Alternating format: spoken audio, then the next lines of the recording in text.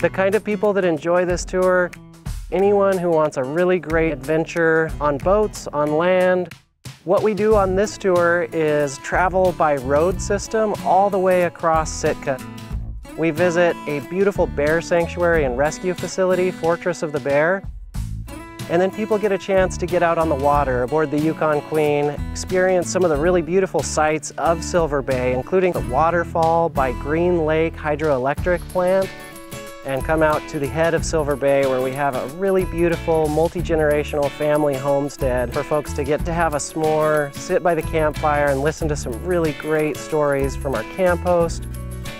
We hope that all of our guests go home with a unique wow memory, something that really touched them individually. And we really take pride in providing those moments for our guests.